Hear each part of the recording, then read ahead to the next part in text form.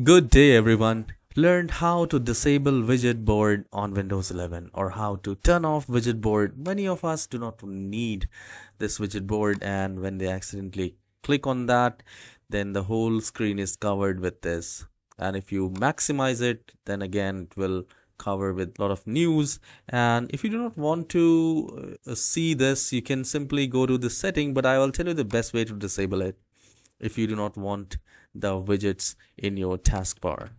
So here in the start icon, just do a right click and then go to settings. And at the left hand side, we need to go to this personalization tab.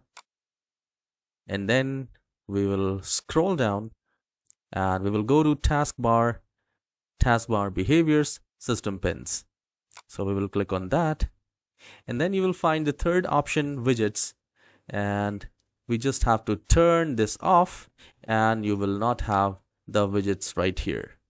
So you can also do that and if you need the widget you can always go back to that place and turn it on. If you find this tutorial helpful please hit the like and subscribe and do let me know in the comment section whether you like the widgets or you don't like the widgets. I'll see you in the next tutorial. Have a wonderful day